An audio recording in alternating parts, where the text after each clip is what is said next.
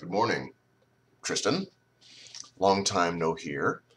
Uh, this, uh, I just finished watching your video, Automation and Social Structure, which uh, I'm sure you know hits on uh,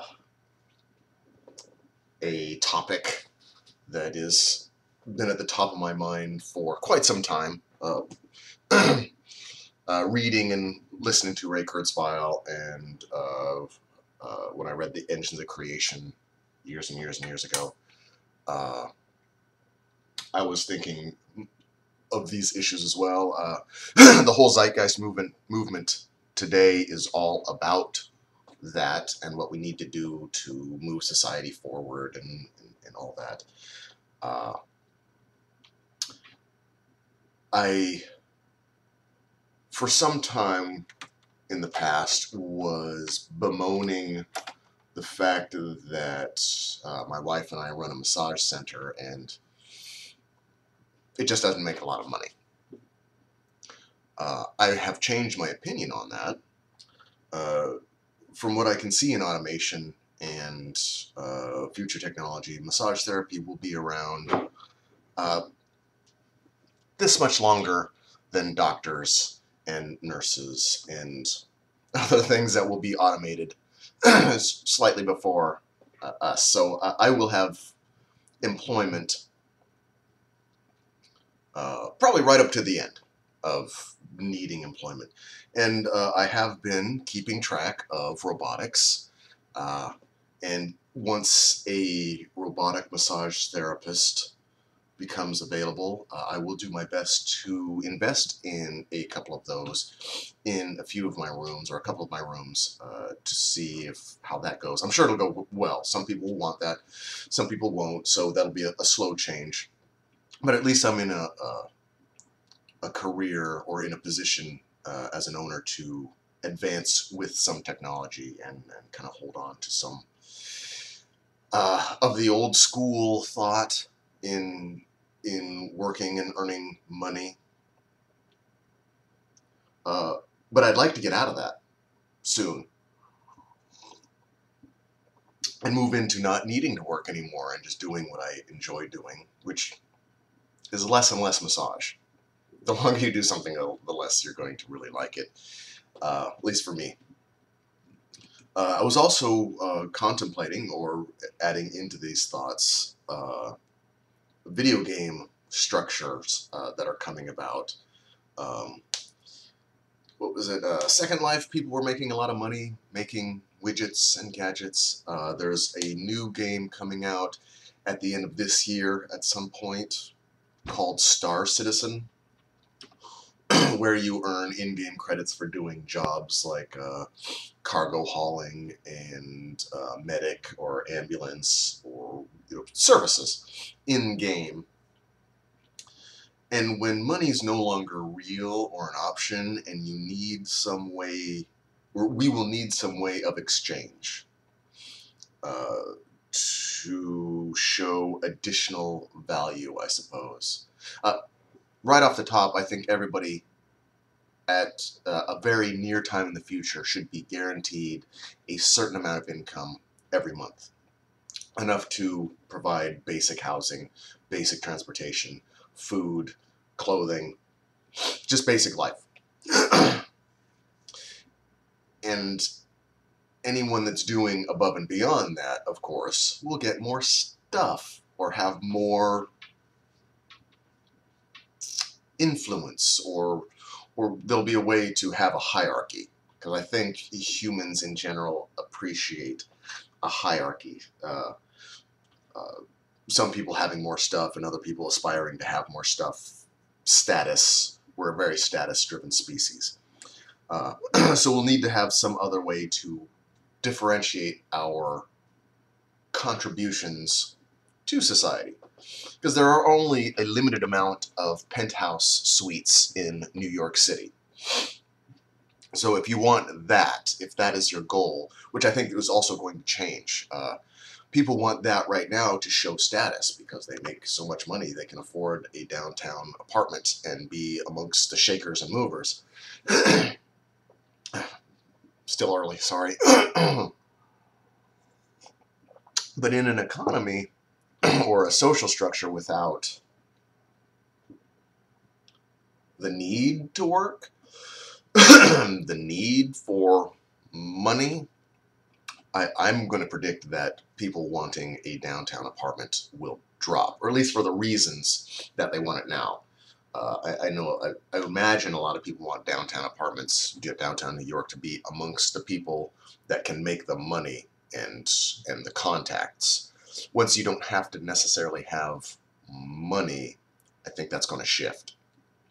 But with the uh, Star Citizen, I'm I'm kind of wondering if we couldn't move towards that. Not necessarily just doing a uh, a fuel run in a video game and earning more credits in real life, but digital contributions, social contributions, uh, providing services, doing YouTube videos, and providing content that people enjoy, much like celebrity status, but only reduce that down to instead of having to be Hugh Jackman and being able to afford a house, you can be you or I and talk about topics and, and move social ideas forward and, and earn some some form of credit, like a, an up vote will get you a certain amount of credits because someone appreciated your contribution.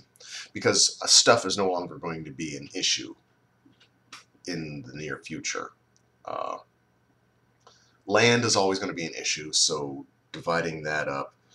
Uh, but I think that's going to be less of an issue also in, in the future. So predicting social advancements is going to be very weird. Because right now people want, or there's some people that want a giant property with a mansion on it and a pool and, and all this luxury.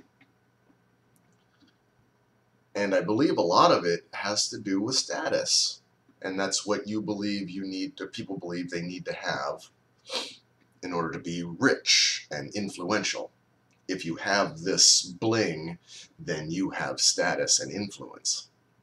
And i don't i'm i'm i'm betting that we'll move away from that. And we'll have less gold teeth and chains and ferraris and bentleys and uh, swimming pools with whatever we'll move away from that. I've already moved away from that. I never really cared about it. Uh, I would never want a Lamborghini, uh, uh, a, a, a, a, Tesla X when that comes out. That would be cool, but for not for status reasons necessarily. I don't I don't care how much it costs. If it was two dollars, I would still want one because of its functionality and its novelty. So I think our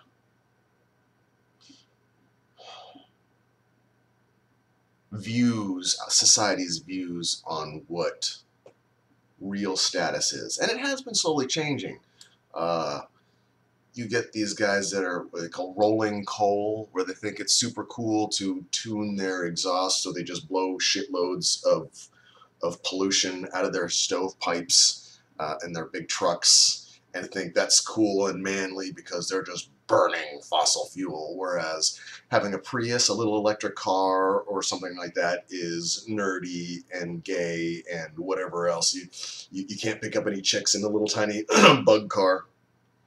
Well, Tesla has shown that that's just ridiculous. A Tesla will flat stomp any other car out there. Pretty much. So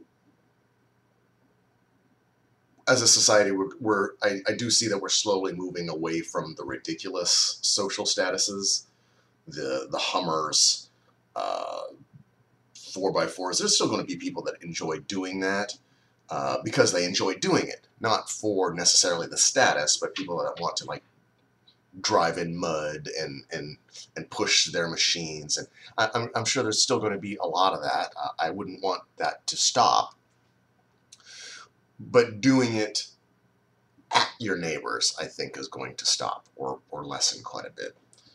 Uh, so I'm hoping that in the very near future, uh, we're going to decide, uh, like some other countries have, that everybody gets a basic living amount of money, credits, exchange value, and then if you want to push See, that would be the socialism point of it.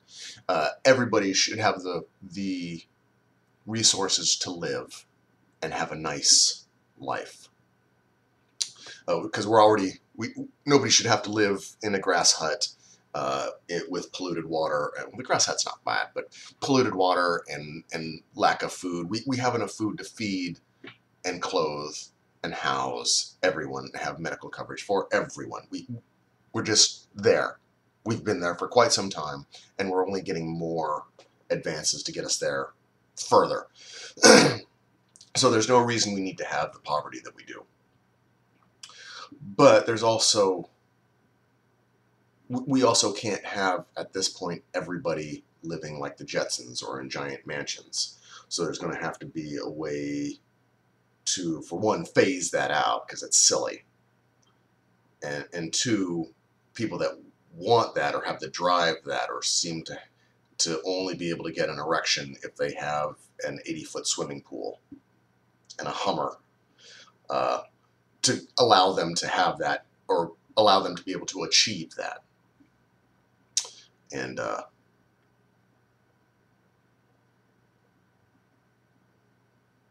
I think the key is changing our value system and not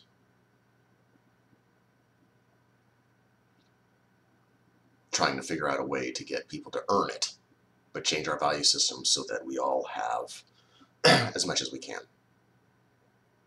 And I'm talking out my ass now. Good to see you posting videos again, man.